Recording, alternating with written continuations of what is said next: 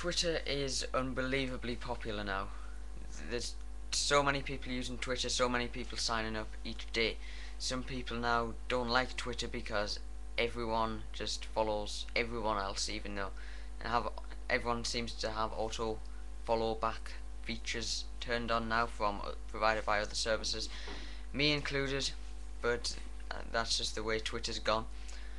But some people just don't like that about Twitter, but many people do. I love Twitter, and if you love Twitter as well, you might be interested in this website.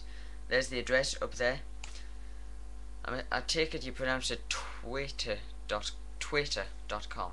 It's just Twitter with an A in between the W and the I. So I'll, not bother spelling it out. It's up there. Just read it yourself. Type it in to your web browser. And so what it is is a Twitter client and scheduler. That that's it basically. It's it's an online Twitter client that I can't find anything to actually download. But the website's still an alpha. That's before beta, and beta is before they release it as the first and final, like the final finished version. Um, so it's very early stages. and they've just opened the website. I'm guessing. So if you want to take a look, then take a look now, but don't think that it'll be like this forever. There'll be ad there's a few things here that say coming soon, so there are gonna there is gonna be some new features. Um, the most of the actual website seems to be a bit pointless because it's just a copy of the Twitter website, twitter.com.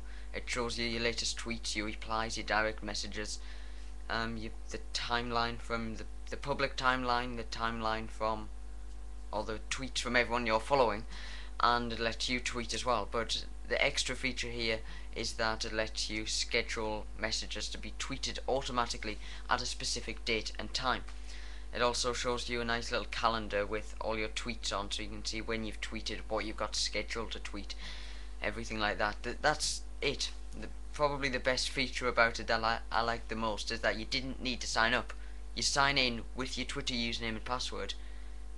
You don't need to sign up for an account. You don't need to click a link in an email to activate your account.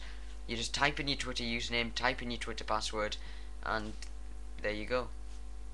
So, twaiter.com there's really only one feature so far that you might be interested in the scheduling of tweets. Um, it, it says a fully functioning Twitter client, but it's on the web. It's not a downloadable one that you put on that you can run as an application on your desktop. So you might as well just use Twitter.com for that. But you might you might like this website a bit more. It seems to be a bit slow at the moment. I don't know if that's a problem on my end or something to do with their servers. I, really don't know, but the, there's loads of websites like this now giving you Twitter tools. There's loads of downloadable Twitter clients too. Um, I think I've mentioned Tweetlater before. Um, well, I, I use it, tweetlater.com. I can't remember if I did a video about it. Never mind. If you if you're wondering, I use Tweetlater and I use Twitterrific. Twitterrific is for OS 10 a desktop downloadable Twaiter client. Tweetlater is similar to Twitter, it has a few more features though. A bit more developed, but Twaiter is a new one. Could it could be good. It has some good. It has potential here. They just haven't really got very far with it so far. But like I said, it's in alpha, so give it a chance. Give it time.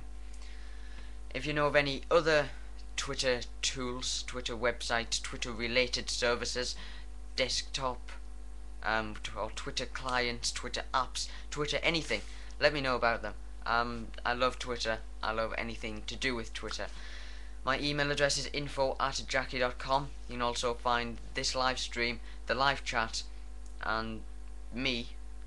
The live stream's 24 7. I'm not here 24 7, obviously. But there's people in the chat 24 7. So if you want to come along and just join in with the conversation, come and tell us something, come and ask us something, you can find us all at jackie.com. Thanks for watching.